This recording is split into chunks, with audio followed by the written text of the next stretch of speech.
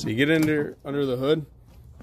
What happened was there was a grommet here on the oil line, and it just kind of gave out over time. And so he said because of that, it started leaking.